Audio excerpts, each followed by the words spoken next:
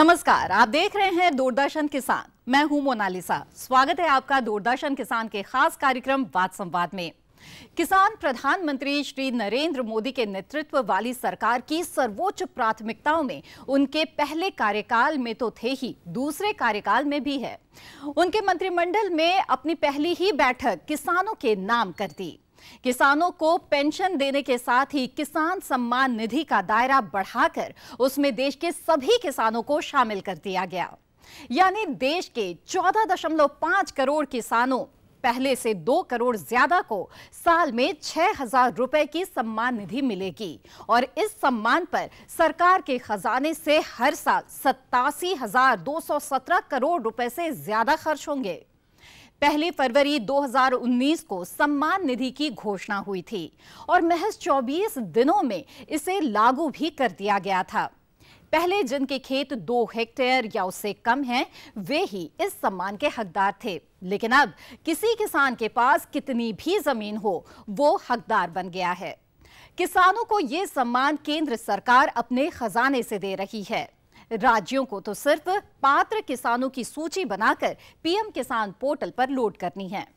तो अब तक कितने राज्यों के कितने किसानों के खाते में पहुँची है ये राशि? राज्यों का कैसा रहा रवैया?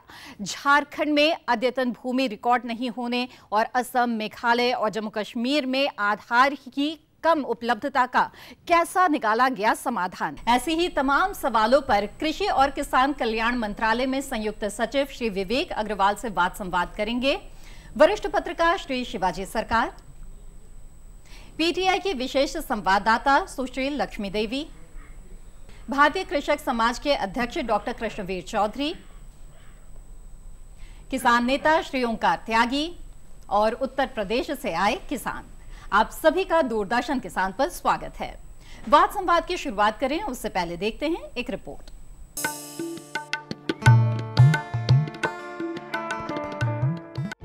24 फरवरी को जय जवान, जय किसान के तीन उद्घोष के साथ प्रधानमंत्री श्री नरेंद्र मोदी ने बाबा गोरखनाथ की तपोभूमि गोरखपुर में हज़ारों किसानों की मौजूदगी में प्रधानमंत्री सम्मान निधि का शुभारंभ किया था। कुछ सरकारें अभी तक सोई हुई हैं। अगर उन्होंने इस काम में लापरवाही की और किसानों के साथ खिलवाड़ किया तो किसानों का शाप और बददुआएँ उनकी सत्ता भस्म कर देंगी। मैं इन सरकारों को चेतावनी देता हूँ। अगर आपने अपने राज्य के किसानों की सूची समय पर नहीं पहुंचाई, अगर वो इन लाभ से वंचित रह गए तो इन किसानों का साप, इनकी बददुआएँ आपकी राजनीति को तहस नहस कर देगी। अरे आप विरोधी दल की सरकार हो सकती हो, लेकिन मेहरबानी करके किसान तो हमारे देश का है, उसके साथ राजनीति क्यों करते हो? क्यों उसके साथ खिलवाड़ करते हो? जिन राज्यों में संभावित लाभार्थियों के चार फ़ीसदी को भी अभी तक किसान सम्मान निधि नहीं मिली, उनमें छत्तीसगढ़, कर्नाटक, राजस्थान मध्य प्रदेश, चंडीगढ़, दिल्ली और पश्चिम बंगाल शामिल हैं। बिहार में भी केवल एक दशमलव चार आठ फ़ीसदी पात्र किसानों को ही सम्मान निधि मिली है। पर उसकी वजह पात्र किसानों का नए तरीके से सर्वे कराना बताया जा रहा है। दिल्ली, अरुणाचल, लक्षद्वीप, मेघालय, सिक्किम और पश्चिम बंगाल में किसी भी किसान को सम्मान निधि नहीं मिली है। पश्चिम बंगाल इस योजना में शामिल होने को अभी भी तैयार नहीं है।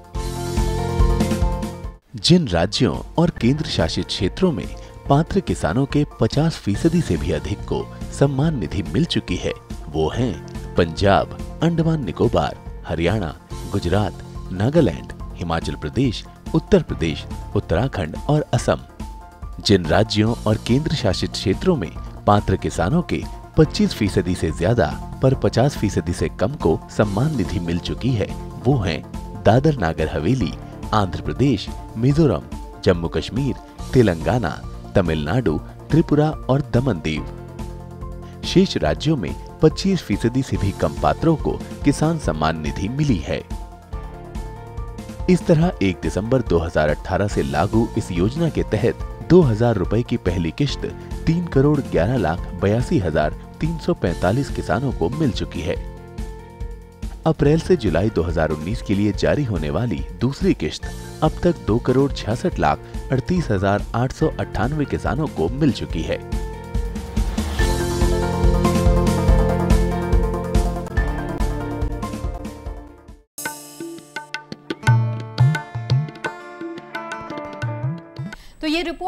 आपने देखी और अब सबसे पहले चलते हैं किसानों के पास। प्रधानमंत्री श्री नरेंद्र मोदी की सरकार ने अपनी दूसरी पारी का पहला ही फैसला किसानों के लिए लिया है। और अब दो हेक्टेयर की जो सीमा है किसान सम्मान निधि के लिए वो हट गई है। जानना चाहूँगी कि आप लोगों में इस फैसले से किस तरह की खुशी है? अपने तालियों के साथ इस बात का इजहार कीजिए कि इस फैसले से कैसी खुशी है आप में। यहाँ तो जोरदार तालियाँ बजा दी है आपने और अभी सबसे पहले हमें ये बताएँ कि जो पहली किश्त है, वो आप में से किन किन के खाते पे आ चुकी है? हाथ खड़ा करके अपना बताएँगे कि किन किन के खाते में आ चुकी है। बहुत अच्छे। और क्या कुछ लोग ऐसे भी हैं आप लोगों में जिनके पास दूसरी जो किश्त है, वो भी आ चुकी है? चलिए। तो यहाँ पे कई लोग हैं जिनके पास पहली और दूसरी किश्त पहुँच चुकी है और अब चर्चा की शुरुआत करते हैं। और सबसे पहले पीएम किसान के सीईओ विवेक अग्रवाल जी के पास चलते हैं। विवेक जी, बताएँ हमें कि पीएम किसान सम्मान निधि जो है उसका दायरा बढ़ा दिया गया है और हम देख रहे हैं कि किस तरह से खुशी है तमाम किसानों में। इंतज़ार बस इस बात का है कि कब से इसे लागू किया जाएगा। जो प्रधानमंत्री किसान सम्मान निधि का दायरा बढ़ाया गया है जी वो 31 मई को जो यूनियन कैबिनेट की बैठक हुई थी हम्म। उसमें यह फैसला हो गया था और अगले ही दिन एक जून से इसका दायरा बढ़ाने के आदेश जारी हो गए थे और सभी राज्यों को हमने बता दिया है कि अब जो किसान पहले सम्मिलित नहीं थे क्योंकि उनके पास दो हेक्टेयर से ज़्यादा भूमि थी उनके नाम भी वो पोर्टल पे डालें और उनको भी अब इस जो चार माह का पीरियड है एक अप्रैल से इकतीस जुलाई का हम्म। उसके दो हज़ार रुपये उनको हस्तांतरित किए जाएँगे। जी। विवेक जी कुछ समय पहले इस बात की भी चर्चा हुई कि कई किसानों के खाते से सम्मान निधि की राशि वापस ले दी गई। इसमें कितनी सच्चाई है? जब हमने इस प्रक्रिया को शुरू किया क्योंकि एक फरवरी को माननीय प्रधानमंत्री जी ने इस योजना की शुरुआत करने का फैसला लिया कैबिनेट में और 24 फरवरी को लॉन्चिंग हुई तो 24 दिन में जब हमने जो पहले डेटा आया हमारे पास किसानों का उसको स्क्रूटनी करके हमने पैसा ट्रांसफ़र किया हम्म। उसमें एक जो कमी रह गई शुरू में वो ये रही कि जिन किसानों का नाम जो राज्यों से आया उस नाम में और जो उनके खाते का नंबर आया उस खाते में जो किसान का जो खाते के मालिक का नाम था उनमें जहाँ पे अंतर था वहाँ पे जब पैसा गया बैंक अकाउंट में तो वो पैसा क्रेडिट नहीं हो पाया और क्रेडिट हुआ तो डेबिट हुआ। वो हमने आइडेंटिफाई कर लिया पूरे देश में करीब हमने छः करोड़ ट्रांजेक्शन्स किए हैं। तीन करोड़ तीस लाख प्रथम किश्त हमने किसानों को दी और करीब दो करोड़ सत्तर लाख किसानों को हमने द्वितीय किश्त दी। और ये पूरे देश में केवल एक लाख उन्नीस हज़ार ही ऐसी ट्रांजेक्शन्स थी। जहाँ पे इस प्रकार का हमें सूचना मिली उनके सबकी हमने सूची बना ली है हम्म। और उनकी जो करेक्शन है हम्म। उस डेटा को करेक्ट करने के लिए हमने राज्यों को भेजा है हम्म। जैसे ही वो डेटा करेक्ट आ जाएगा इन किसानों के खाते में दोनों किश्तें जो पहली किश्त है और दूसरी किश्त दोनों किश्तें चार हज़ार रुपये जिनके बनते हैं वो पूरा पैसा किसानों के खाते में सही नाम से दर्ज होकर पहुँच यानी कि जो विसंगतियाँ रह गई है उसे सुधारा जा रहा है। लक्ष्मी जी हमने रिपोर्ट में देखा कि जैसा कि प्रधानमंत्री श्री नरेंद्र मोदी ने 24 फरवरी को गोरखपुर में कहा था किसानों के साथ खिलवाड़ किया तो किसानों का श्राप और बदुआएँ उनकी सत्ता भस्म कर देगी। और अब इसे देखते हुए आप क्या कहना चाहेंगे? बहुत सारे स्टेट्स में अभी तक इस स्कीम में जुड़े जुड़े नहीं है जैसे वेस्ट बंगाल है। और नॉर्थ ईस्ट के कुछ स्टेट्स है। तो वहाँ पे किसानों को यू नो उनको चाहिए मगर स्टेट गवर्नमेंट सपोर्ट नहीं कर रहे हैं। आई थिंक ग्रेजुअली वो लोग इसमें जुड़ेंगे क्योंकि अल्टीमेटली स्टेट गवर्नमेंट जो भी सत्ता में है उन्हीं पे असर पड़ेगा। जी बिल्कुल। शिवाजी आप इसमें कुछ जोड़ना चाहेंगे खासतौर पर जैसे कि पश्चिम बंगाल का ज़िक्र किया है लक्ष्मी जी ने कि हमने देखा कि यहाँ पर अब तक लागू करने के लिए ही पश्चिम बंगाल की जो सरकार है वो तैयार नहीं है। देखिए मेरे ख्याल में पश्चिम बंगाल की सरकार जो है राजनीति से प्रेरित होकर जिस तरह से काम कर रही है हर चीज़ में हम्म। मुझे लगता है वो प्रैक्टिकल नहीं है और सेंसेबल भी नहीं है हम्म। देखिए सामान्य रूप से अगर हम किसी भी उस मुद्दे पे बात करते हैं कहीं से भी हमें पैसा मिलना होता है हमें मान लीजिए दस रुपये मिलना है और कोई कहते है नहीं अभी चार रुपए ही तुम्हें मिलने हैं। तो हम पहले कहते पैसे तो ले लो बाद में बाकी की लड़ाई लड़ते हैं। जी। तो ये जो पश्चिम बंगाल में जिस तरह से सरकार जिस जो रवैया अपनाया है मुझे लगता है वो बिल्कुल सही रवैया नहीं है क्योंकि देखिए पश्चिम बंगाल सरकार अगर कुछ किसानों को दे रही हो अलग बात है। पर उसके उस, उनके किसानों को और ज़्यादा पैसा अगर केंद्र से मिलता है तो उनको उस पर कोई ऑब्जेक्शन नहीं होना चाहिए। तो उसको तो इसका स्वागत करना चाहिए। तो इस तरह की चीज़ें जो है मुझे लगता है जो जो जनता की भलाई के लिए किसानों की भलाई के लिए जो चीज़ें की जाती है उस पर मुझे लगता है कि इस प्रकार की राजनीति नहीं करनी चाहिए। और पश्चिम बंगाल की सरकार हर छोटी छोटी चीज़ों पे राजनीति करके हर चीज़ को जो रोकने का प्रयास करती है मुझे लगता है कि उसका कहीं ना कहीं राजनीतिक खामियाजा भी उनको कहीं ना कहीं मिल रहा है। बिल्कुल। कृष्णवीर जी सरकार जो है वो किसानों को सालाना सत्तासी हज़ार करोड़ से ज़्यादा देना चाहती है। पर काफ़ी राज्यों में हमने देखा जैसे कि चर्चा भी हो रही है कि उनकी तरफ़ से एक सुस्ती दिख रही है जो रवैया है वो बहुत ही सुस्त है। ऐसे में किसान संगठनों की क्या भूमिका हो सकती है? देखिए ये जो योजना है उसमें किसान की खतौनी किसान का आधार कार्ड और किसान का बैंक खाते की डिटेल्स। ये तीन चीज़ें एक साथ मिलाकर और पटवारी इसको अपलोड करता है। ये जो सिस्टम है हमारा वो वहीं से शुरू होता है। और जो अभी कहा अग्रवाल जी ने सही कहा कि वो दो करोड़ उनहत्तर लाख लोगों में था डेढ़ करोड़ डेढ़ लाख को सॉरी दो लाख उनहत्तर हज़ार था डेढ़ लाख को रोके एक लाख उन्नीस हज़ार का जो करेक्शन है। ये करेक्शन जो हो जाएगा गलतियाँ होती हैं इतनी बड़ी योजना को। आप ये देखिए कि देश में पहली बार आज़ादी के बाद पहली बार सीधे किसान के खाते में पैसे देने की शुरुआत की गई है। लेकिन प्रदेश सरकारों का रवैया पश्चिम बंगाल का जो अभी आपने कहा ही है। साथ साथ आप ये देखिए कि राजस्थान मध्य प्रदेश का भी छत्तीसगढ़ का रवैया भी नेगेटिव रहा और किसानों का रिकॉर्ड ही अपलोड नहीं किया।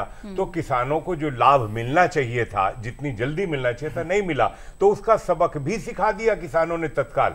ऐसा नहीं है। सवाल ये है कि अगर केंद्र सरकार अपनी तरफ़ से सीधे सीधे किसानों को सहायता के लिए और सहायता भी ऐसी कि पूरे देश को पहले साढ़े बारह करोड़ की बात आई कि भाई पहले दो हेक्टेयर तक का था।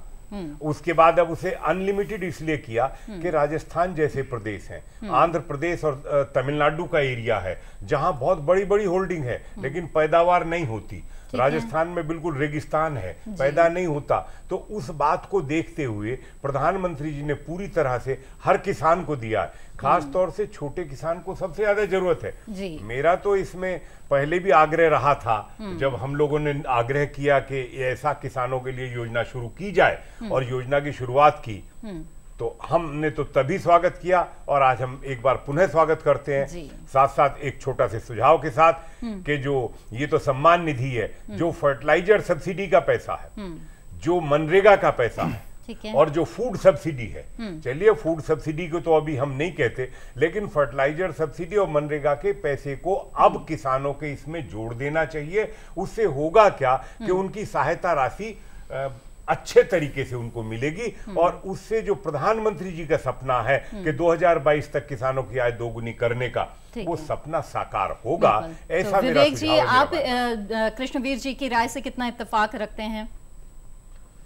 देखिए सरकार का ये बड़ा सीधा मत है कि जितना सब्सिडी के जितने भी योजनाएँ सरकार की हैं उनका सीधा पैसा अगर किसान के या हितग्राही के बैंक अकाउंट में जाता है तो वो सबसे ज़्यादा फ़ायदेमंद है क्योंकि उसका सीधा लाभ हितग्राही को मिल जाता है गरीब आदमी को मिलता है किसान को मिलता है।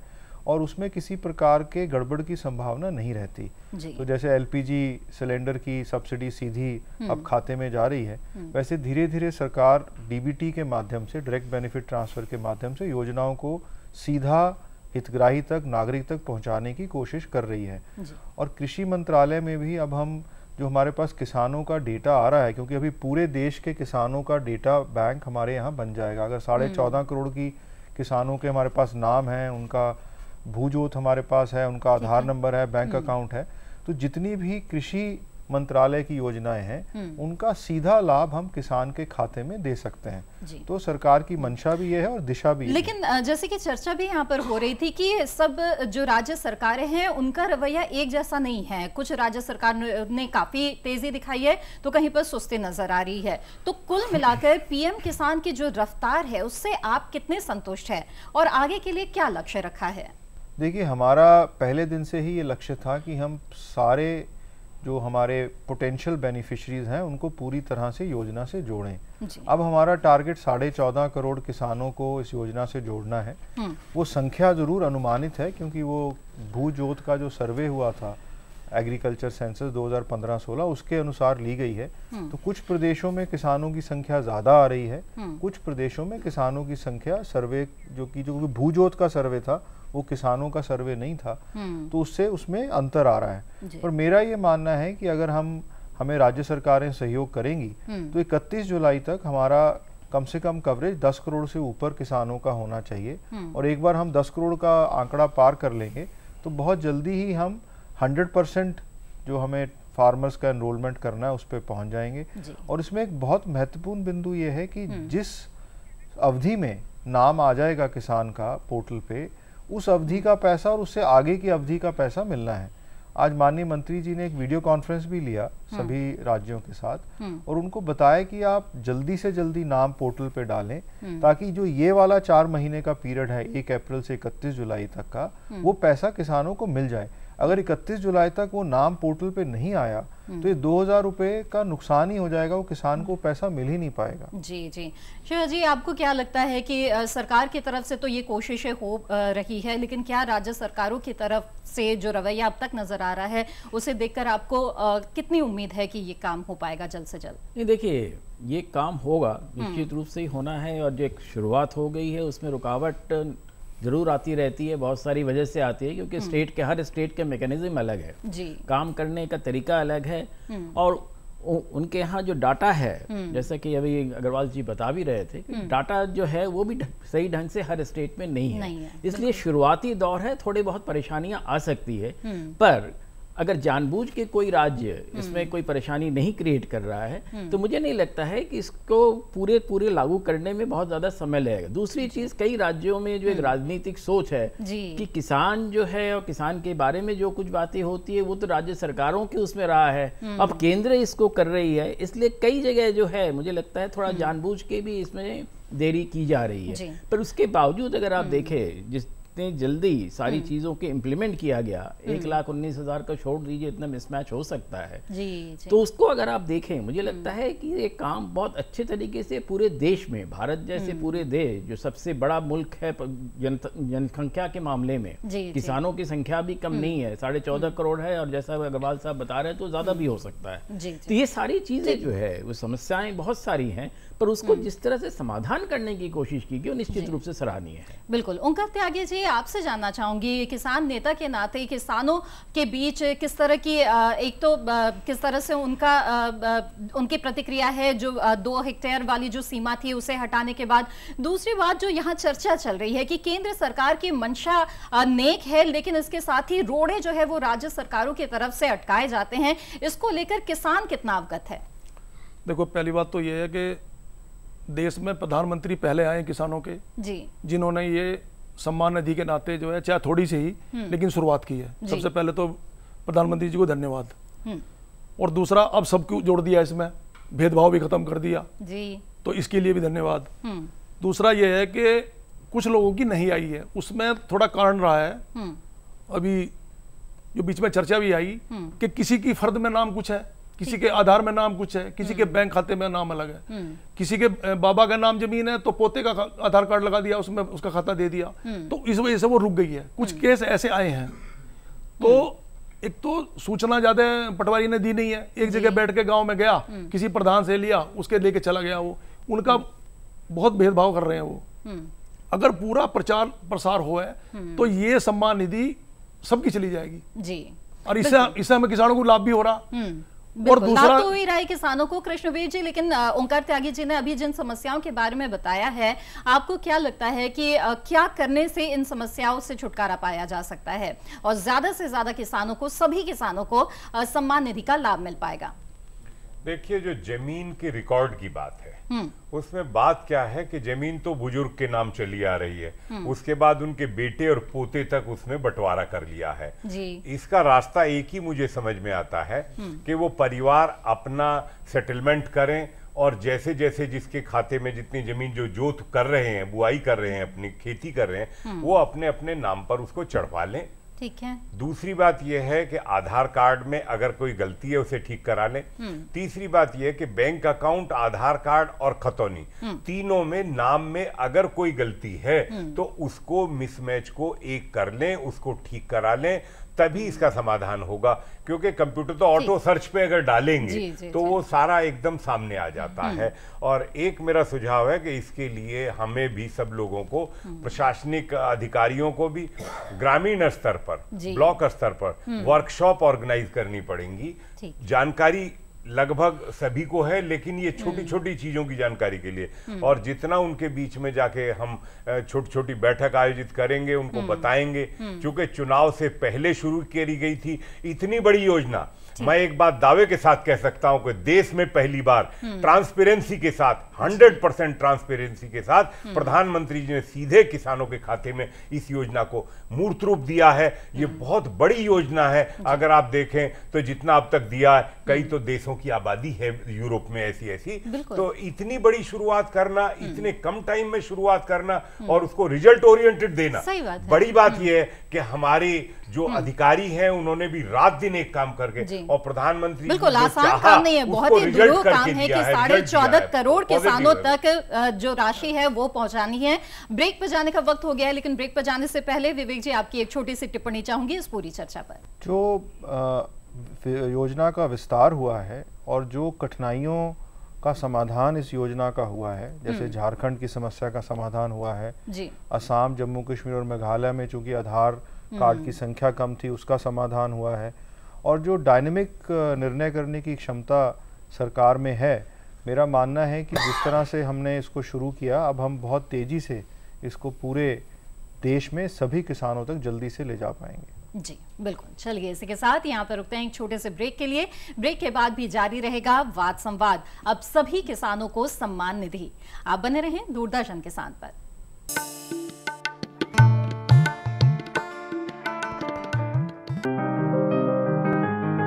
बीमारियों से कैसे बचेगी फ़सल?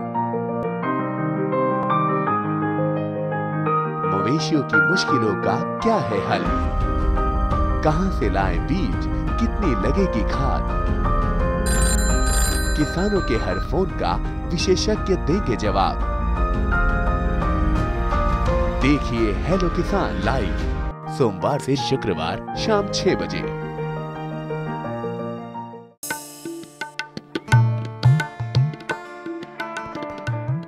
ब्रेक के बाद दूरदर्शन किसान पर आपका फिर से स्वागत है।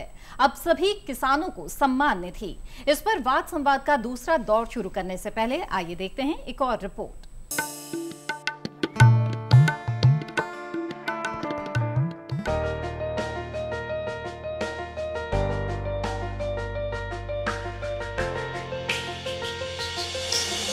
देश में करीब 15 करोड़ 11 लाख जोत हैं। सरकार का मानना है कि इसमें से करीब 61 लाख किसान ऐसे हैं जो पात्रता के दायरे में नहीं आते।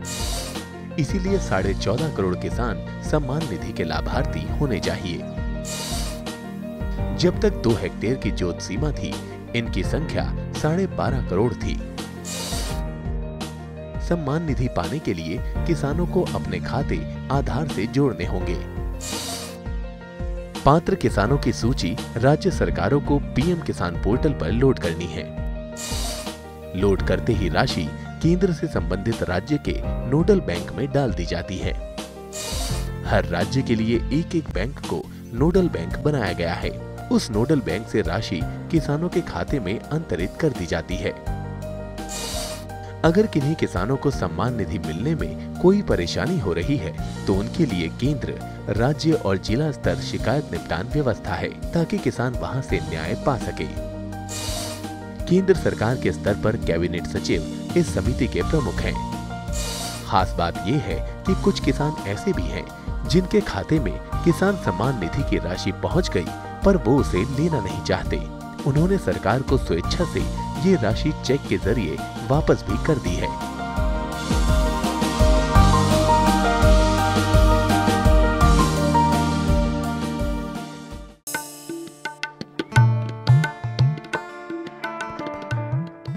आपने देखी आइए बातचीत को आगे बढ़ाते हैं और विवेक जी पीएम किसान का जो दायरा है उसे बढ़ाकर जोत की सीमा हटाने के पीछे क्या लगता है? इसकी क्या खास वजह रही है?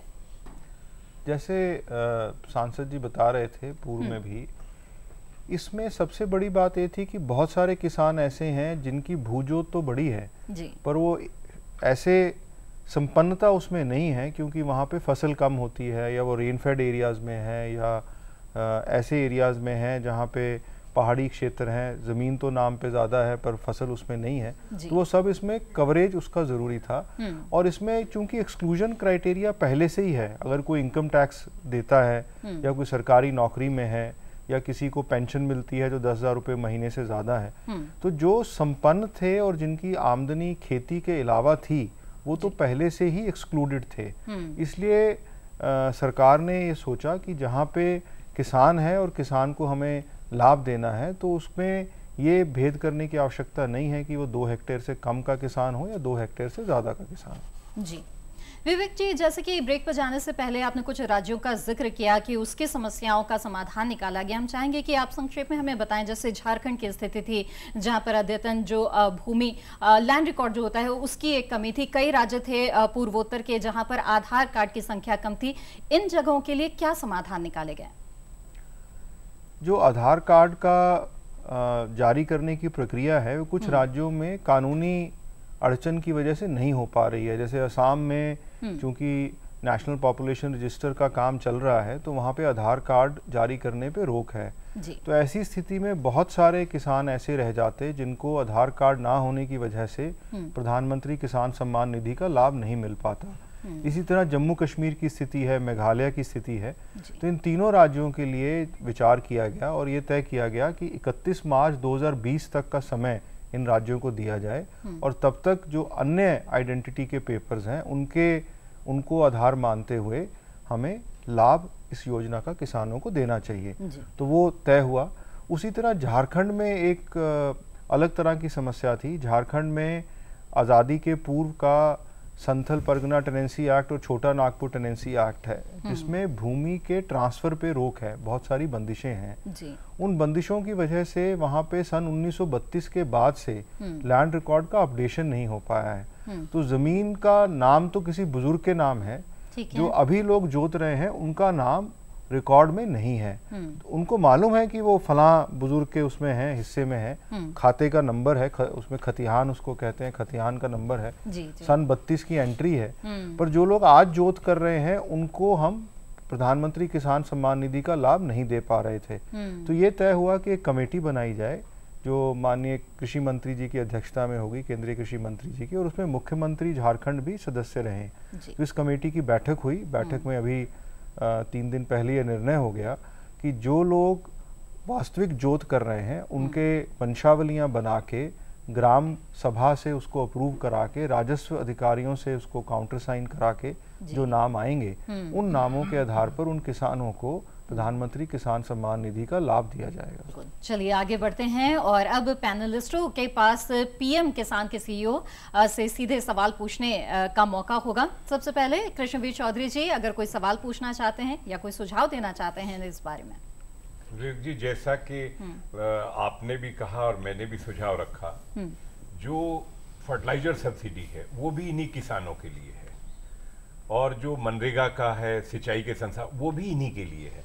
तो आपकी क्या राय है? यदि इसको कंबाइन करके सभी किसानों को क्योंकि मेरा ये मानना है कि छोटे और गरीब किसान जो उनको ज़्यादा मदद मिल जाएगी और सभी को मिल जाएगी। तो अगर इसको कंबाइन करके इस पैसे को जोड़ के इसकी हम बढ़ा दें धनराशि को तो आपका क्या मानना उसका ज़्यादा अच्छा रिज़ल्ट आएगा? मेरा ये मानना है किसान उससे ज़्यादा लाभान्वित होंगे और सीधे सीधे होंगे क्योंकि उसमें कहीं कोई इफेंट बट नहीं है इस योजना में। विवेक जी। जी बिल्कुल। इसी के लिए अब तय ये हुआ है कि हम किसानों का एक कॉम्प्रिहेंसिव डेटाबेस बनाएँगे और वो डेटाबेस में किसान के नाम के साथ उसका खाता नंबर खतौनी नंबर भी जोड़ देंगे ताकि पूरा क्लियर हो जाए कि ये किसान है उसकी ये इतनी भूमि है। और इवन जो जीआईएस मैप है सैटेलाइट इमेजरी से हम उस खेत को भी उससे कनेक्ट कर देंगे। तो ये पता रहेगा कि उसकी भूजोत कितनी है। और उसके आधार पर जितनी भी सरकार की सब्सिडी की योजनाएँ हैं वो सीधे खाते में किसान के खाते में जा सकती हैं। तो मेरा ये मानना है कि धीरे धीरे करके अब आगे आने वाले समय में जो योजना का लाभ किसी और को मिल जाता है वो सीधा बेनिफिशरी को जाए उस और उस दिशा में बहुत तेज़ी से काम हो रहा है। और जो डायरेक्ट बेनिफिट ट्रांसफ़र का पोर्टल है भारत सरकार का पीएफएमएस का वो बड़े सशक्त तरीके से इस काम को आगे बढ़ाने में लगा हुआ है। मेरा इसमें इसलिए सुझाव था कि बहुत इस देश में बहुत सारे किसान ऐसे हैं जो केमिकल फर्टिलाइज़र का यूज़ नहीं करते और वो छोटे किसान हैं। उनकी आर्थिक स्थिति बहुत कमज़ोर है और उनको अगर हम कंपोस्ट की तरफ़ ले जाएँ ऑर्गेनिक जो हमारा पुराना था हम्म। उस सिस्टम के लिए हम्म। उनको अगर सपोर्ट कैश बेनिफिट ज़्यादा मिल जाएगा तो मेरा ये सुझाव इसलिए है कि हम्म। सभी में बराबर बांटना चाहिए। ऐसा ना हो कि फिर हम इसे जोड़ दें कि जो खाद खरीदेगा उसी को पैसा देंगे। ठीक है जैसा विवेक जी ने कहा है कि उस पर काम चल रहा है। लक्ष्मी जी आप भी कोई सवाल पूछना चाहेंगे इसके क्रियान्वयन को लेकर हम जानना चाहते हैं कि नॉर्थ ईस्ट में क्या स्टेटस है? वहाँ पे जो लैंड ओनिंग जो तरीका है बाकी स्टेट्स के अलावा जैसा नहीं है हम्म। वहाँ पे कितने किसानों को मिला है और कितना प्रोग्रेस है जो नॉर्थ ईस्ट के राज्य हैं उनके लिए पहले से ही ये विचार कर लिया गया था कि इन राज्यों में जो लैंड रिकॉर्ड है उसके हिसाब से किसानों का चयन करना मुश्किल होगा हम्म। तो कमेटी में मणिपुर का मुद्दा आया था मणिपुर में कम्युनिटी ओन्ड लैंड है हम्म। और जिसके ऊपर किसान खेती करते हैं और उनका जो पट्टा है वो वहाँ के गाँव के मुखिया उनको देते हैं उस पर्टिकुलर जो ट्राइब हम्म। है उसके मुखिया देते हैं तो हमने उस समय ये व्यवस्था बना ली थी कमेटी से हमने अप्रूव करा लिया था कि जो भी ऐसा पट्टा किसान को मिला है और उसके आधार पर वो खेती कर रहा है तो उन किसानों को हम इस योजना में सम्मिलित कर लेंगे हम्म। तो नॉर्थ ईस्ट के सारे राज्यों में जहाँ पे कम्युनिटी ओन्ड लैंड थी वहाँ पे जितने भी हितग्राही थे वो सम्मिलित हो गए जैसे अगर आप असम का उदाहरण लें तो असम में करीब 11 लाख किसानों को पहली किश्त बांटी गई हम्म। दूसरी किश्त ज़रूर थोड़ी डिले हुई बिकॉज़ उनके आधार नंबर का मसला था वो भी सॉल्व हो गया तो आज उनकी 11 लाख और जो किसानों की सेकेंड इंस्टॉलमेंट है हम्म। वो भी जा रही है इसी तरह नागालैंड में मणिपुर में मिज़ोरम में हम्म। अरुणाचल में इन सब राज्यों में आ, किसानों को पैसा गया है और मेघालय और सिक्किम अब योजना में अपना डेटा दे रहे हैं तो उनको भी शीघ्रता से प्रधानमंत्री किसान सम्मान निधि का लाभ मिल जाएगा शिवाजी सरकार जी क्या आप भी पीएम किसान सम्मान निधि को लेकर विवेक जी से कुछ जानना चाहेंगे हाँ कई सवाल हैं हम्म। एक तो सवाल ये है कि कई लोग ये पूछते रहते हैं कि जिन राज्यों में हम्म। बहुत से बेनिफिट दिए जा रहे हैं कुछ बेनिफिट जो हैं जो उड़ीसा है तेलंगाना है और भी कई राज्य हैं जहाँ वो बेनिफिट्स केंद्र जो दे रही सहायता उससे ज़्यादा हो रही है हम्म। तो वैसे हालत में क्या किसानों को केंद्र की दी जा रही वह सहायता उनको मिलेगी या नहीं मिलेगी दूसरी एक चीज़ जो है खास करके जब अपने पूर्वोत्तर के और ऐसे कुछ क्षेत्र हैं हम्म। जहाँ शिफ्टिंग कल्टीवेशन हो रहा है वहाँ आप कैसे काम कर रहे हैं हम्म। जो आपका पहला सवाल है उसका आ, आ, सीधा आ, जो हमारा कार्य करने का मैंडेट है वो ये है कि हम अपना लाभ किसानों को दे रहे हैं अगर राज्य की कोई योजना है जिसमें किसानों को लाभ मिल रहा है तो वो अतिरिक्त रूप से मिल रहा है। तो ये आ, उसका कोई प्री डिटर्मिंड क्राइटेरिया नहीं है कि अगर राज्य से लाभ मिलेगा तो केंद्र का लाभ नहीं मिलेगा या वाइसे वर्षा ऐसा नहीं है। हम्म। जहाँ पूर्वोत्तर के राज्यों में झूम कल्टीवेशन होता है वो मेनली नागालैंड में होता है। तो नागालैंड का हमने बहुत गहराई से अध्ययन किया। नागालैंड में दो तरह की भूमियाँ हैं जो झूम कल्टीवेशन में है। एक ऐसी भूमियाँ हैं जो प्राइवेट ओनरशिप में हैं। जो प्राइवेट ओनरशिप में है वो अगर उन्होंने आगे किसी को दिया भी है कल्टीवेशन के लिए तो उसमें कोई समस्या नहीं है वो किसान है जिसके नाम भूमि है उसको वो आ, उसका लाभ मिल रहा है। और दूसरी वो भूमियाँ हैं जो कम्युनिटी ओन्ड हैं। हम्म। तो कम्युनिटी ओन्ड लैंड्स में जहाँ पे पट्टे दे दिए गए हैं हम्म। और इवन वो झूम कल्टीवेशन करते भी हैं तो वो दो साल के साइकिल में करते हैं और फिर दो साल दूसरी ज़मीन करते हैं फिर पलट के आ जाते हैं। तो वो एक फिक्स्ड एरिया है जहाँ पे किसान आइडेंटिफाइड है जो किसानी में लगा हुआ है। उनके नाम हमारे पास आ रहे हैं उनको हम बेनिफिट पीएम किसान का दे रहे हैं। बहुत अच्छी बात। ओंकार त्यागी जी आप क्या जानना चाहेंगे? मैं तो ये अग्रवाल जी से निवेदन करूँगा कि प्रधानमंत्री जी से हमारा निवेदन ये पहुँचा दें कि इसको कम से कम डबल तो कर दें। छः के बारह तो कर ही दें। जी। और दूसरा ये है कि इसमें बिचौला तो रहा नहीं बीच में क्योंकि सीधा बैंक में खाते में जा रहा। कोई किसी को ढूँढने की आवश्यकता नहीं सब पे मोबाइल है मैसेज आ गया भाई बैंक से तो सम्मान निधि आ गई है। तो ये बहुत बढ़िया एक है कि नहीं तो चार सौ रुपये पेंशन के लिए भी लोगों को चक्कर काटने पड़ते हैं बैंक के। जी जी। या फिर वहाँ वो खिलाएँगे ब्लॉक में जाके पैसे सौ पचास चार सौ मिल रहे सौ पचास वहाँ खिला देंगे धक्के खाते रहेंगे। तो ये सबसे बढ़िया बहुत बढ़िया है काम ये। ठीक है। विवेक जी किसानों से इस तरह के निवेदन तो आते ही रहते होंगे। दो हेक्टेयर से ज़्यादा बढ़ाया गया है लेकिन सत्तासी हज़ार करोड़ से ज़्यादा वहन सरकार को करना पड़ेगा। और इस पर क्या आगे आप कहना चाहेंगे? देखिए जो योजना है उसकी शुरुआत हुई है। और उसका लाभ मिलना शुरू हुआ है। आगे जाके इस योजना के और कितने आयाम बनेंगे उसका जी। कितना और लाभ मिल सकेगा हम्म। वो अ, अ, समय के साथ तय होगा। पर ये बात बिल्कुल सही है जो त्यागी जी ने कही कि पहले जितनी भी योजनाएँ होती थी वो एप्लीकेशन आधारित होती थी कि जो हितग्राही है उसको आवेदन देना पड़ता था और जब वो आवेदन देता था फिर उसकी स्क्रूटनी होती थी और फिर उसको लाभ मिलने की संभावना बनती थी। इस योजना में सबसे बड़ी बात जो हुई वो ये था कि अब पटवारी या गाँव का अधिकारी किसान से जानकारी ले रहा है और जानकारी सीधा पोर्टल पे डाल रहा है और पैसा किसान के खाते में जा रहा है। तो ना किसी से कोई आवेदन लिया ना किसी को कुछ कहा कि भाई आवेदन लेके कहीं जाना है और पैसा सीधा खाते में आ गया। तो ये बहुत बड़ा चेंज है जो इस योजना में आया है और मेरा मानना है कि जो गति जिस गति से ये योजना लोकप्रिय हुई है उससे और भी बहुत सारे जो उसके एंसिलरी बेनिफिट्स हैं वो प्रशासन को भी मिलेंगे क्योंकि हमें आगे अनुभव प्राप्त होगा कि हमें योजनाएँ कैसे चलानी चाहिए और जो नागरिक हैं उनको भी बहुत लाभ मिलेगा। जी। लक्ष्मी जी आप कुछ और भी पूछना चाह सर रही मैं ये जानना चाहती हूँ अभी तो खाते में जा रहा है और किस तरह वो इस्तेमाल कर रहे हैं उसके ऊपर कोई स्टडी छः महीने के बाद करेंगे क्या? क्योंकि पता भी चले कि कि किसान किस तरह वो पैसे इस्तेमाल कर रहे हैं। इस योजना की जो मूल अवधारणा है वही ये है कि जो पैसा किसान को जा रहा है वो उसका उपयोग अपनी मर्ज़ी से कर सके। उसको अगर खेती के उपयोग के लिए चाहिए तो खेती के उपयोग के लिए कर, कर ले। अगर उस समय उसको बच्चे की फ़ीस देनी है तो उसके लिए करे या कोई घरेलू आवश्यकता है उसके लिए करे। पर हमारा मानना यह है कि जिस तरह का उसका साइकिल ऑफ़ पेमेंट है चार चार महीने में हम दे रहे हैं तो वो क्रॉप साइकिल से भी मैच करता है। तो कहीं ना कहीं उसका सीधा लाभ किसानी के काम में किसान को होगा और जो उस समय तत्कालिक आवश्यकता होती है थोड़े थोड़ी चीज़ों की वो उससे पूरी होगी। मुझे बड़ी खुशी हुई अभी थोड़े दिन पहले एक न्यूज़ रिपोर्ट आई एक, एक बड़े चैनल ने की तो वो ईस्टर्न यूपी में जब उन्होंने किसानों के इंटरव्यू लिए तो किसानों ने कुछ ने कहा कि साहब ये पैसा आया और मैंने बच्चे की फ़ीस जमा करा दी जी। या बच्चे की ड्रेस खरीद ली और मेरा ये फला काम हो गया। तो कुछ भी उपयोग किसान कर ले किसान के क्योंकि ये उसकी आमदनी है एक अतिरिक्त आमदनी किसान की है।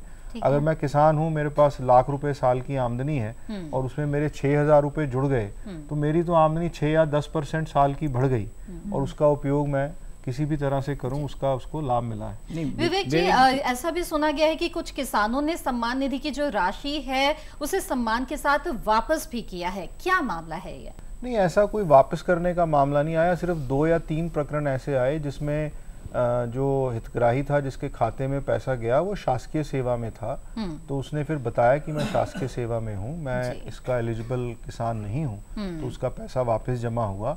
पर ये बहुत कम संख्या ऐसी हमारे सामने आई। हम्म। और जब ये आई तो हमने राज्यों को ये एडवाइजरी दी कि जो एक्सक्लूजन क्राइटेरिया है उसको ध्यान से चेक करके किसानों के नाम दें।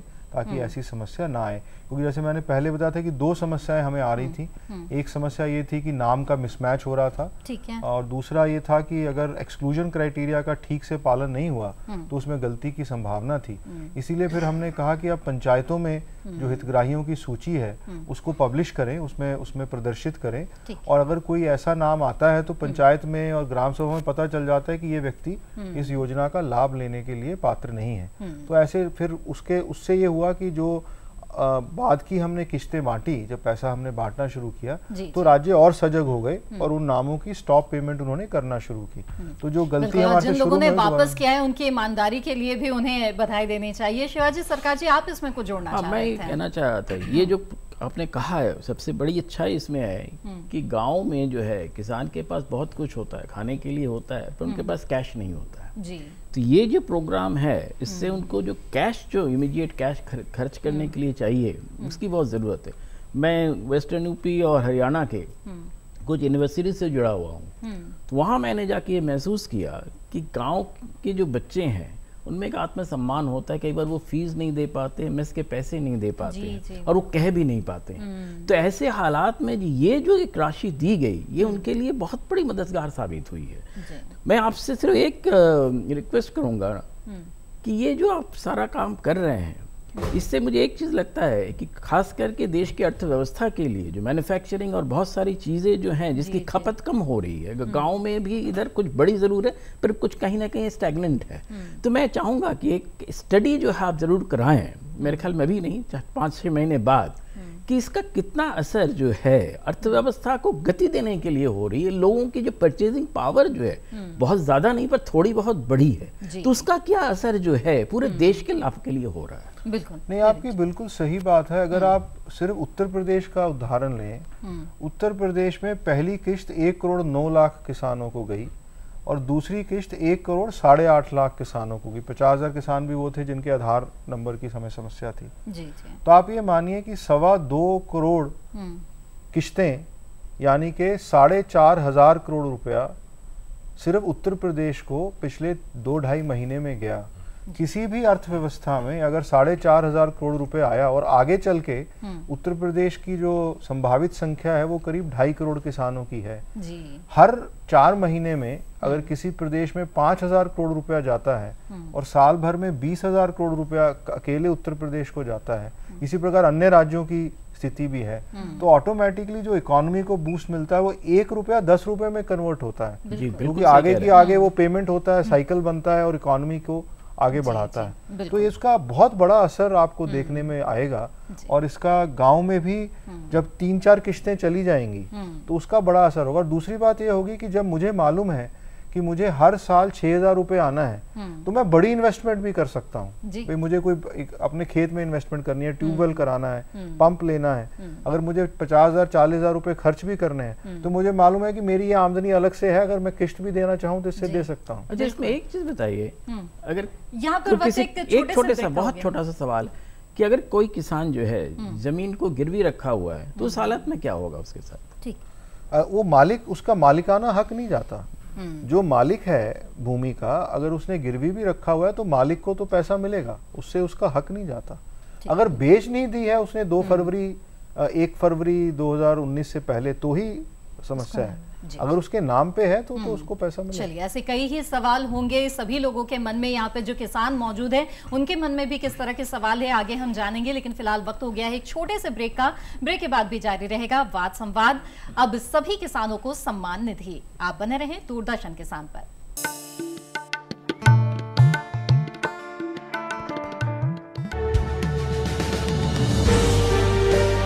पचास साल से लगातार कृषि दर्शन है आपके साथ। खेती की नई तकनीकों से लेकर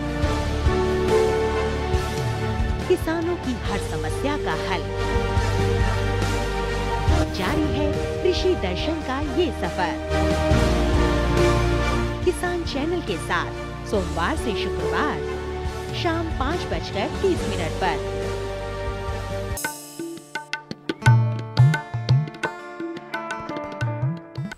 ब्रेक के बाद आप सभी का फिर से स्वागत है। अब सभी किसानों को सम्मान निधि, इस पर हम कर रहे हैं वाद संवाद। मोदी सरकार ने अपना दूसरा कार्यकाल शुरू करते ही किसानों के लिए एक बहुत बड़ा फैसला लिया है और किसान सम्मान निधि से दो हेक्टेयर की सीमा को हटा दिया है और अब सभी किसानों को, यानी कि चौदह दशमलव पाँच करोड़ किसानों को मिलेगा किसान सम्मान निधि। और इस पर किसानों के मन में किस तरह की प्रतिक्रिया है और किस तरह के सवाल है, इस पर हम आते हैं।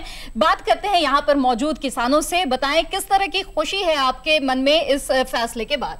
प्रधानमंत्री जी को बहुत बहुत धन्यवाद, जिन्होंने इतना बड़ा कदम उठाया है। वह थोड़ा सा प्रचार प्रसार की कमी रही है। जो कि बैंक में खाते हैं कई के डबल खाते मतलब मिक्सचर खाते हैं। वे खाते दिए वे उनमें पैसा नहीं पहुँच पाया।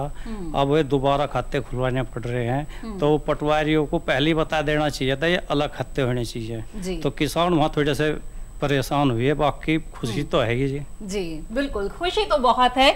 यहाँ पर कुछ और किसानों से हम बात करते हैं। साथ ही हमारे साथ पैनलिस्ट मौजूद हैं इनसे आप सवाल भी पूछ सकते हैं। जी। हाँ जी इसके लिए हम प्रधानमंत्री जी का धन्यवाद करते हैं। बहुत खुश हैं। सभी छोटे बड़े किसान इन्होंने इसमें ले लिए हैं। हम खूब खुश हैं इससे। और. ऐसे ही आज 10 परसेंट का आरक्षण दिया है। उन राज्यों में भी उसका असर दिखा है। है। तो ठीक है। जी बिल्कुल। तो किसानों में काफ़ी खुशी है। कुछ और किसानों से यहाँ पर बात करते हैं जो पीछे बैठे हैं। कोई सवाल अगर पूछना चाहें आप तो पूछ सकते हैं। जी। प्रधानमंत्री को जी हम धन्यवाद करते हैं। हाँ। हमारे गाँव में लगभग 400 किसान हैं छोटे बड़े जी। उनके दो के ही पैसे आए हैं। बाकी कागजों में भी सबकी मिस्टेक नहीं हो, हो सकती। ये पटवारी की भी कुछ लापरवाही है। मान लिया जी प्रधान के यहाँ पहुँच गए एक के यहाँ पहुँच गए पाँच सात का नाम दिया बाकी वे रह गए। तो सारे की मिस्टेक भी नहीं कागजों में हो या खातों में हो सकती। है। तो तो क्या वजह हो सकती है इसकी? विवेक जी कुछ बताना चाहेंगे इस पर। क्या वजह हो सकती है कि सभी किसानों के खाते में नहीं आए हैं पैसे? उत्तर प्रदेश में हमें जो हमारा एस्टीमेट है वो ढाई करोड़ किसानों का है। और अभी करीब एक करोड़ नौ लाख किसानों के नाम ही वेरीफाई होकर उनके पैसे ट्रांसफ़र हुए हैं। तो इसका मतलब अभी भी करीब एक करोड़ तीस लाख एक करोड़ पैंतीस लाख किसानों के नाम आने बाकी हैं। तो जो मुद्दा इन्होंने उठाया उसके लिए हमने राज्यों से बात की है खासकर उत्तर प्रदेश से बात की है। और मुझे बताया गया कि वहाँ के प्रशासन ने अभी एक कैंपेन शुरू की है और बहुत जल्दी ही वो सारे नाम लेके और वो हमें डिटेल भेजेंगे। करीब 50 लाख रिकॉर्ड ऐसे भी हैं जो उन्होंने भेजे थे हमारे पास जिसमें त्रुटियाँ थी वो उनको वापस किए गए हैं वो भी उनको ठीक करके भेजेंगे। तो जितने भी किसान छूटे हुए हैं हम्म। अब तो क्योंकि रकबे का जो बंदिश था वो भी खत्म हो गया है तो उन सबके नाम आएँगे और उनका भुगतान होगा। जिन किसानों की खाते में भी त्रुटियाँ पाई गई है कि नहीं? और वो त्रुटि ठीक होने के बाद थर्टी फ़र्स्ट जु, जु, जुलाई के बाद अगर आपके रिकॉर्ड में जाता है तो उसको पिछले पैसे का बेनिफिट मिल सकता है या हाँ। नहीं? नहीं जिसका नाम एक बार आ गया पोर्टल पे अगर वो त्रुटि रह भी गई तो भी उसका नाम पोर्टल के आने से ही उसकी एलिजिबिलिटी हो गई। तो जैसे अगर 31 मार्च से पहले नाम आ गया पोर्टल पे उसका उसमें कोई खाते में गलती थी या कोई कमी थी वो ठीक करके देंगे तो उसको पुरानी किस्त भी मिलेगी नई भी मिलेगी। और 31 जुलाई के बाद जिसका नाम आया गलती त्रुटि हो गई वो अगस्त में भी ठीक होके आ गया तो भी जुलाई तक की किस्त मिलेगी। जी यानी किसी किसान को नुकसान नहीं होगा। कोई और सवाल यहाँ पर? जी पूछिए। जो खाते में पति पत्नी दोनों के नाम ज़मीन है और वे अलग अलग रह रहे हैं तो उन्हें तो दोनों को पैसे मिलने चाहिए।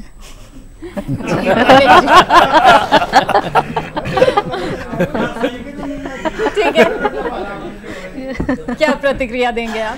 नहीं अगर पति पत्नी का डिवोर्स हो गया है तलाक हो गया है तो तो अलग अलग परिवार हो गए अगर अगर वो अभी तक शादी के बंधन में बंधे हुए हैं हाँ। तो वो एक ही परिवार माने जाएँगे तो एक ही को। चलिए यहाँ पे कुछ और सवाल ले लेते हैं किसानों से। हम्म, हाँ जी सबसे पहले तो अब प्रधानमंत्री जी का इस योजना के साथ में तहे दिल से धन्यवाद करते हैं। बहुत ज़्यादा खुश है किसान।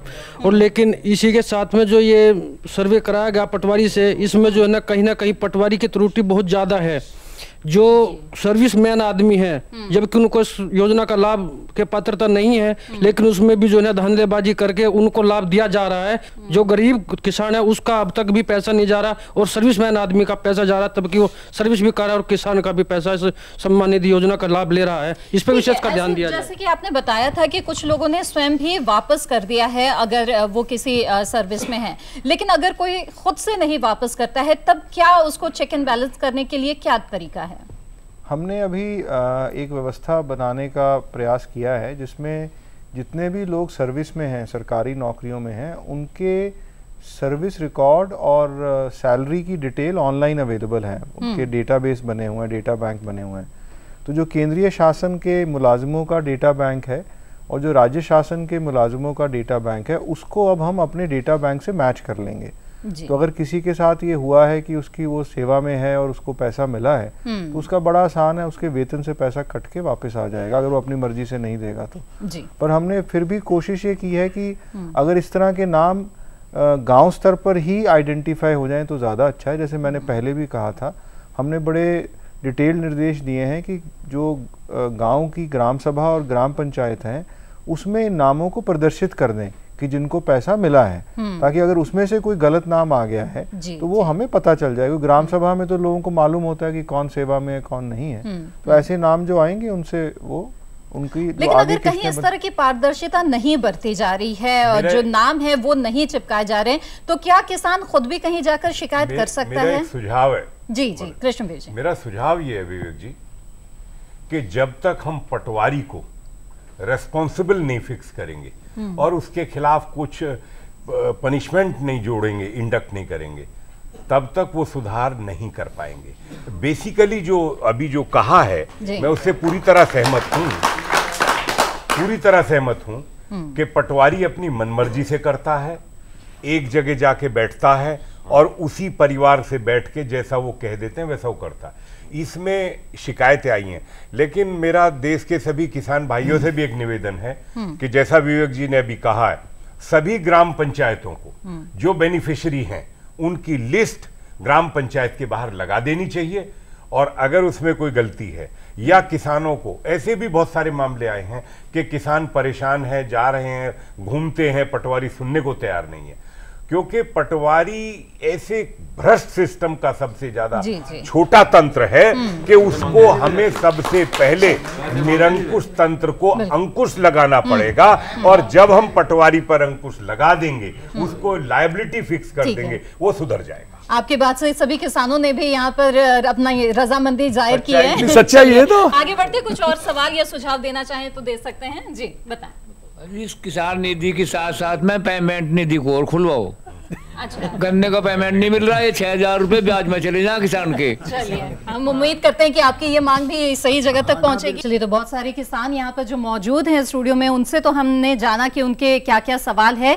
ओंकार त्यागी जी आपसे भी मैं जानना चाहूँगी आपके क्षेत्र के किसानों से जुड़ी अगर किसी तरह की समस्या आ रही हो या फिर और अगर इसके क्रियान्वयन को लेकर जानकारी चाहते हैं तो आप सवाल पूछ सकते हैं। अग्रवाल साहब से मेरा यही कहना था कि एक केंद्र सरकार के आपके स्तर से एक राज्य सरकार को चिट्ठी चली जाए हम्म। कि भाई इस तरह इस तरह की सूचना आ रही है कि पटवारी गड़बड़ कर रहा है। हम्म। तो अगर आप एक चिट्ठी भेज देंगे ना किसान बार बार कोई जाके एक चिट्ठी आपकी चली जाएगी तो ऊपर से आदेश आ जाएगा तो ठीक हो जाएँगे अपने आप ही। जी जी। तो ऐसा हो सकता है संभव है। हाँ, नहीं बिल्कुल सही है। हम्म। राज्य सरकारों से हमारी लगातार बात होती है और ये बात हम ज़रूर राज्य सरकारों को कह सकते हैं कि जो उनका ग्रामीण स्तर का अमला है उसको सजग रखें और उनकी निगरानी प्रॉपरली करें। जी। अगर आदेश आ जाएगा तो हो जाएगा ठीक फिर ये। हम्म। चलिए एक और टिप्पणी ले लूँ मैं शिवाजी सरकार जी आपसे कि जो बात हो रही है या कई किसान जो ये सवाल उठाते हैं कि बहुत नगण्य है ये राशि। लेकिन जिस तरह की बात हुई है कि जब सत्तासी हज़ार करोड़ से ज़्यादा रुपए ग्रामीण अर्थव्यवस्था में जाएगा तो ज़ाहिर है उसके परिणाम ज़रूर नज़र आएँगे। मैं चाहूँगी इस पर जरा ज़ोर दें आप और अगर कुछ और आप बताना चाहें या सुझाव देना चाहें ताकि किसानों को लाभ हो इस किसान सम्मान निधि से। इस पर अगर कुछ आपने जो कहा हम्म। राशि वैसे देखा जाए तो बहुत बड़ी नहीं है। पर अगर सारा मिला के देखें तो बहुत बड़ी राशि है। हम्म।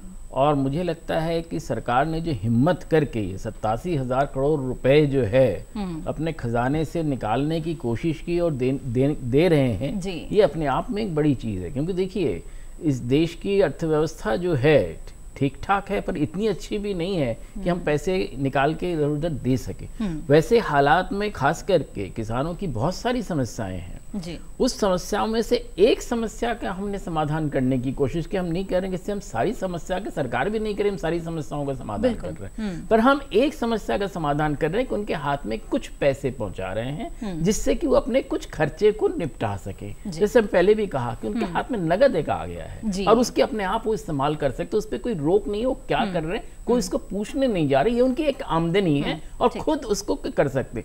दूसरी चीज़ जो है देखिए हाँ। इस तरह की चीज़ों की एक शुरुआत हुई है हम्म। और ये शुरुआत जो है मेरे ख्याल में इतने सालों बाद जो है किसान हर वक्त चाहते रहे हैं हम्म। कि उनके पास कुछ आमदनी ज़रूर हो और वो आमदनी की एक शुरुआत है दूसरी एक चीज़ जो है मुझे लगता है ये सरकार को थोड़ा सा सोचना पड़ेगा। कुछ किसान जो है वो मार्जिनल लेवल पे आते हैं जो इनकम टैक्स पेई भी हैं। तो उन चीज़ों को भी थोड़ा गौर से देखना पड़ेगा। कि जो इनकम टैक्स पेई हैं उनको भी हम किस तरह से कोई बेनिफिट दे सकते हैं? नहीं क्योंकि किसान चलिए तो सभी योजनाओं में मतलब सुधार की गुंजाइश भी रहती है और जैसा की आपने बताया है की बहुत ही अच्छा कदम ये उठाया गया है।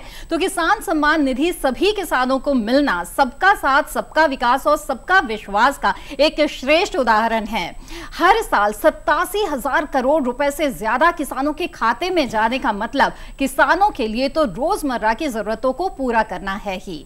इसे ग्रामीण अर्थव्यवस्था में भी नव प्राण आएँगे। विश्वास है कि राज्य सरकारें इस काम में तेज़ी लाएँगी। समय का भाव आज के वाद संवाद को यही विराम देने के लिए कह रहा है। तो आज बस इतना ही। कार्यक्रम में भाग लेने वाले सभी अतिथियों का बहुत बहुत आभार। अब मिलते हैं अगले सप्ताह। इसी समय करने किसी नए विषय पर वाद संवाद। तब तक के लिए बने रहे दूरदर्शन किसान नमस्कार।